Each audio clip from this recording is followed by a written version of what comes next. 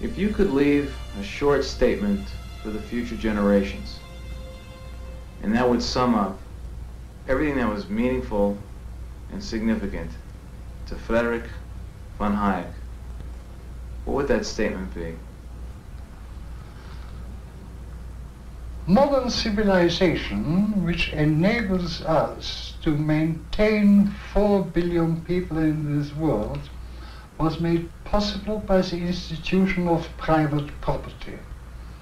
It's only thanks to this institution that we achieved an extensive order far exceeding anybody's knowledge.